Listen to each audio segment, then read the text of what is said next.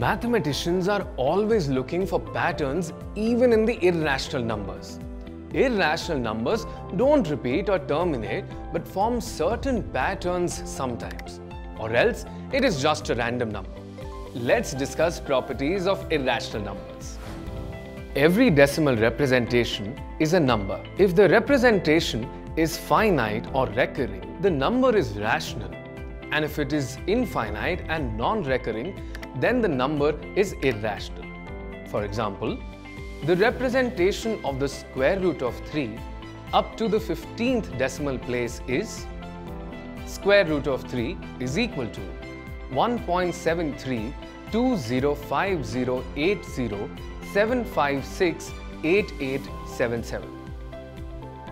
Note that up to the 15th digit, there are no signs of recurrence.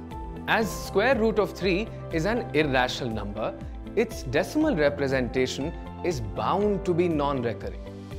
The ratio of the circumference to the diameter of the circle, which is equal to pi, is also an irrational number. Its decimal representation up to the 14th place is pi is equal to 3.14159265234375. Two irrational numbers can be added or one can be subtracted from the other, but the result may or may not be an irrational number. Example, it can be proved that the square root of 2 plus square root of 3 is an irrational number. But obviously, square root of 2 plus minus square root of 2 is equal to 0 is a rational number. We can definitely say that the sum of a rational and an irrational number is irrational. That is, if x is rational and y is irrational, then x plus y is irrational. For if x plus y were rational, then y is equal to x plus y minus x. Being the difference of two rational numbers must be a rational number. Similarly, if x is rational and y is irrational, then x minus y is irrational.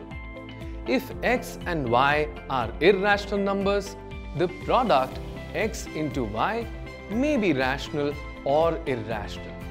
If x is equal to square root of 2 and y is equal to square root of 3, then xy is equal to square root of 6 is an irrational number.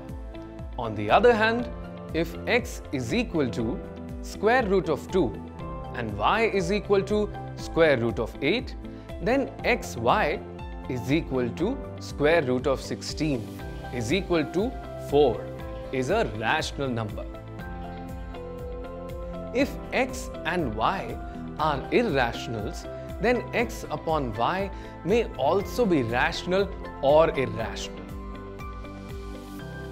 If x is rational, x not equal to 0 and y is irrational, then xy and x upon y both are irrational. While calculating the circumference or area of a circle or the side of a square given its area, we use the irrational numbers like pi or square root of 2.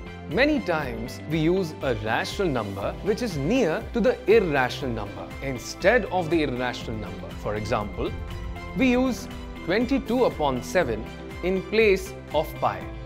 As we have noted earlier, pi is equal to 3.14159265 and so on.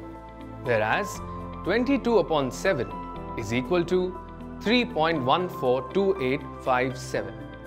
Thus, pi is not equal to 22 upon 7. But 22 upon 7 is quite near to pi. Such a substitution definitely gives rise to an error. But this error is negligible in most of the practical calculations. 22 upon 7 is called an approximate value of pi. In this video, we studied about many properties of irrational numbers. Every decimal representation is a number. If the representation is finite or recurring, the number is rational. If it is infinite and non-recurring, then the number is irrational. The sum of a rational and an irrational number is irrational. The difference of two rational numbers must be a rational number. The difference between a rational number and an irrational number must be an irrational number. The product of two irrational numbers may be rational or irrational. If x and y are irrationals, then x upon y may also be rational or irrational. If x is rational, x is not equal to 0 and y is irrational, then xy and x upon y both are irrational. There are many patterns discovered in numbers by many mathematicians.